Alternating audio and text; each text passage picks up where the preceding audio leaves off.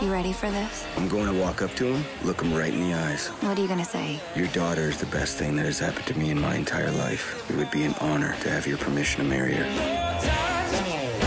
What is wrong with you? You went from enlisted to an officer faster than anyone in the history of the United States Navy. What my daughter sees in you is a great mystery to me. Enjoy these naval exercises, Hopper. They're likely to be your last. Got an unknown surface contact 8,000 yards. I want to have this thing thoroughly investigated. I don't think that's a good idea!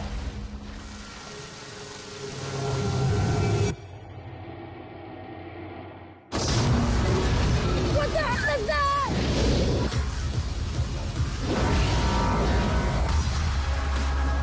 My dad said they'd come.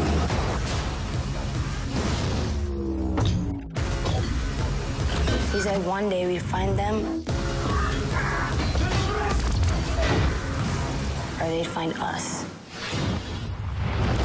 They've created a barrier. We can't seem to penetrate it. What the hell are you doing to us?